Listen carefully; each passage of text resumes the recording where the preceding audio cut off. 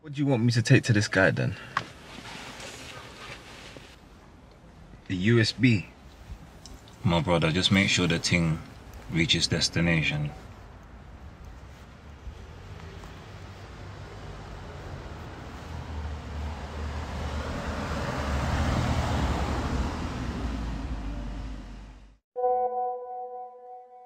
Yo, you man, I'm living, you know. You man need to get your money up, bruv. Trust me. Look at this.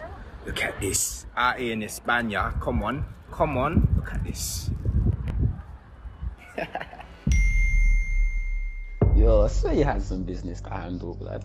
You don't look like you're handling business out there. nah, it's good to see you living it up though still. We'll catch up when you're back. Love. I really, really, really need a new pair of skates, you know. Oh, is it? Yeah. Serious? Yes. You know that skate, like, it's not for me, you know. Long time, Hey. Mr. Big Shot. So we're gonna be heading out to Westfield. You're gonna come with us, yeah? Nah, I'm alright, thank you. I got some business to take care of. I'm gonna see you later, yeah?